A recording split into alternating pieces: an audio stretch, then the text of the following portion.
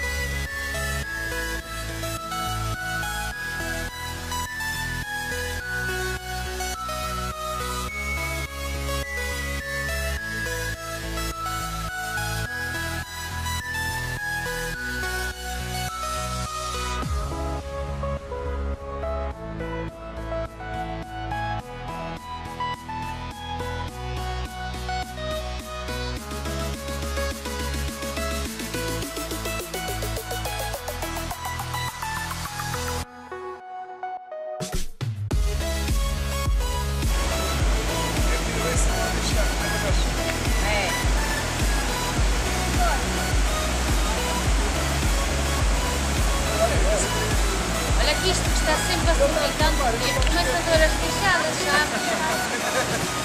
A filmar o que aqui.